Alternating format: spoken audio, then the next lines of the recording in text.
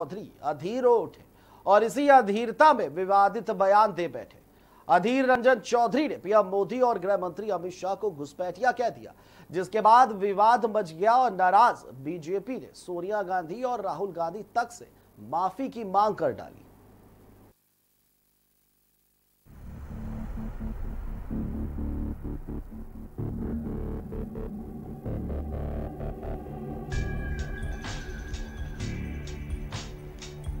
संसद से लेकर सड़क तक नागरिकता संशोधन बिल पर बवाल बच गया है। इस ज्वाला में घी का काम किया कांग्रेस नेता अधीर रंजन चौधरी के बयान ने। विवाद में खाद डालते हुए अधीर रंजन चौधरी ने पीएम मोदी और गृह मंत्री अमित शाह को घुसपैठिया करार दे दिया और कहा कि इनका घर गुजरात में है और ये लोग दिल्ली आ गए हैं। लेकिन वो दिखाना चाहते हैं, हम हिंदुओं को रहने देंगे, मुसलमान को भगा देंगे। ये हिंदुस्तान किसी की जागीर है क्या? सबका अधिकार समान है। मैं तो ये कह सकता कि अमित शाह जी, नरेंद्र मोदी जी, आप खुद घुसपैठिया है। घर आपका गुजरात, आ गए दिल्ली तो आपने तो खुद माइग्रेंट है। अधीर रंजन चौधरी के बयान के बाद सियासत में उबाल आ गया और बीजेपी बिफर पड़ी। बीजेपी ने कांग्रेस से माफ़ी की मांग कर डाली। विपक्ष के नेता हैं अधीर रंजन चौधरी जी, कांग्रेस के पूरे। बात को रखते हैं, किस प्रकार की भाषा? देश के प्रधानमंत्री और गृह मंत्री मोदी जी, अमित शाह जी, किसकी जागीर है? ये देश किसी की जागीर है? कोई एक परिवारवाद दिखता है? यहाँ परिवारवाद की राजनीति दिखती है? ये एक सरकार है, सबका साथ, सबका विकास, सबका विश्वास। प्रधान सेवक की सरकार है ये। प्रधानमंत्री नहीं, प्रधान सेवक।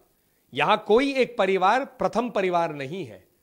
और उसके बाद जिस प्रकार के हमने शासन देखे इस प्रकार की भाषा ये कांग्रेस की सोच है माफ़ी मांगनी चाहिए बीजेपी नेता जीवीएल नरसिम्हा राव ने कहा कि अधीर रंजन चौधरी की दिमागी हालत ठीक नहीं है। कांग्रेस उनका इलाज कराए। साथ ही उन्होंने सोनिया गांधी और राहुल गांधी से भी माफ़ी की मांग कर डाली।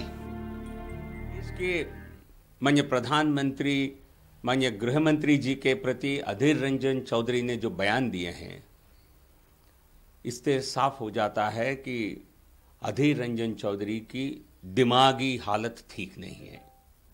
तो एक सड़ी हुई दिमाग वाला व्यक्ति कांग्रेस का नेतृत्व कर रहे हैं लोकसभा में, और ऐसे बेतुकी, बेबुनियाद, बेवकूफ़ी वाले बयान दे रहे हैं।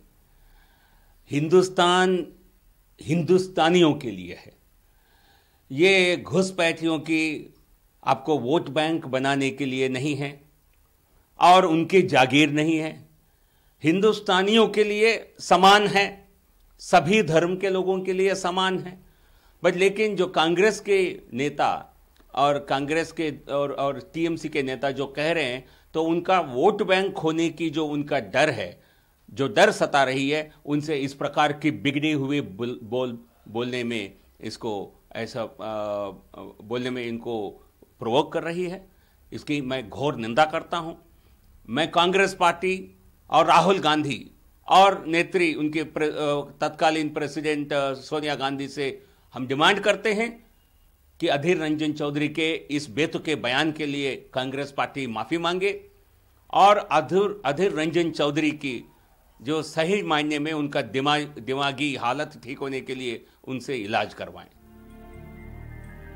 बीजेपी नेता मनोज तिवारी ने इशारों में कांग्रेस अध्यक्ष सोनिया गांधी को निशाने पर ले लिया और पूछा कि जो लोग इटली से आकर बसे हैं उनके बारे में अधीर रंजन चौधरी का क्या कहना है?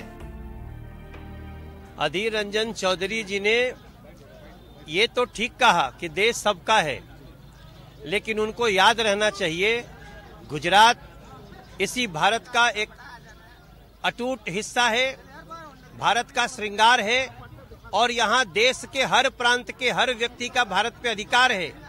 लेकिन जो लोग इटली से आकर के यहाँ बसे हैं, जो लोग विदेशों से आकर के इस इस देश में, जिन लोगों ने इस देश को लूटा है, उनके बारे में अधीर रंजन चौधरी जी का क्या कहना है, ये हम जानना चाहते हैं।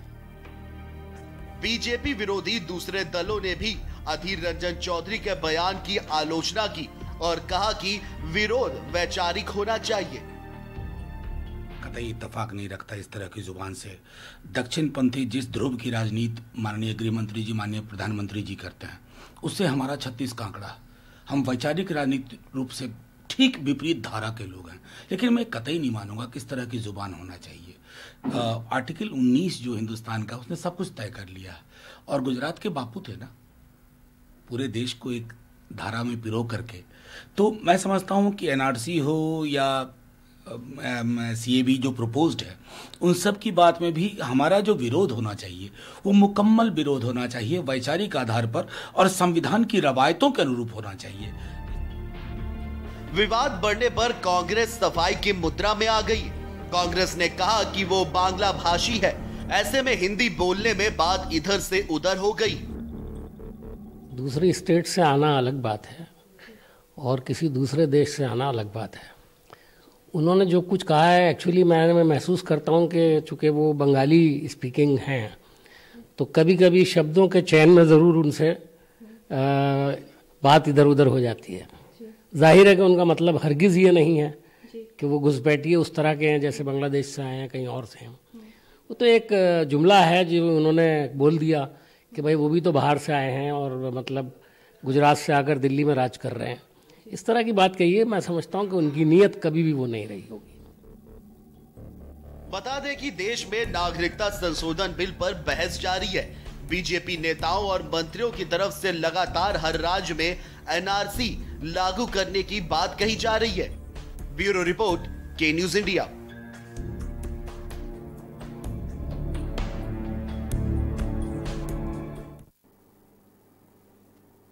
और आप मंदिर